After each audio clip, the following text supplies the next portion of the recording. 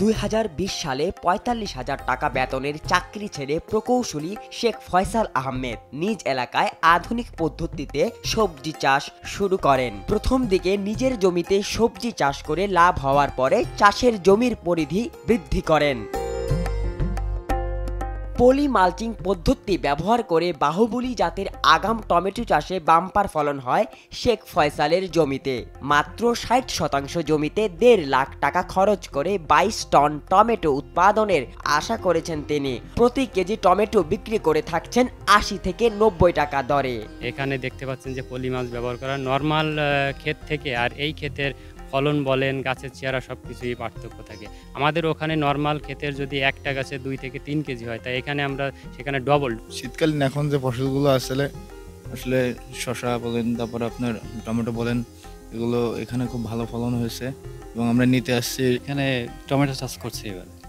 আশা করি ভালো ফলন হয় বাম্পার ফলন। আমরা এখানে ছয় সাতজন লোক কাজ করছি।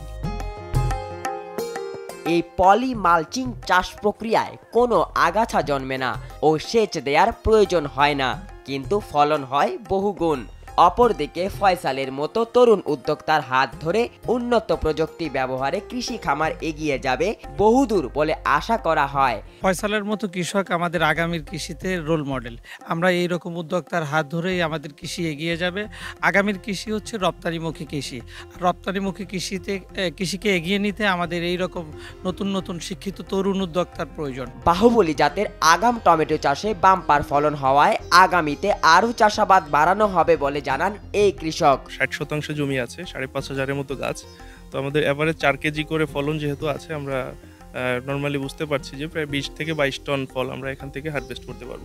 কম খরচে কম কষ্টে ফসল উৎপাদনে সরকার নানা উদ্যোগ নিয়েছে বলে জানান কৃষি সম্প্রসারণ অধিদপ্তরের এই কর্মকর্তা। আমরা চাই যে শস্য ফল শাকসবজি এগুলো আমরা বিদেশে রপ্তানি করব কম খরচে এবং কম কষ্টে। এই ফসল উৎপাদন করতে পারবেন।